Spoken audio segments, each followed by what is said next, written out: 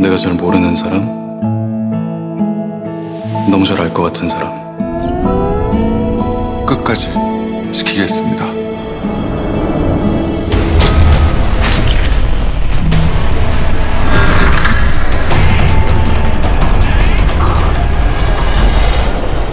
(20년) 뒤에도 30년 뒤에도 너가 그리울 거야.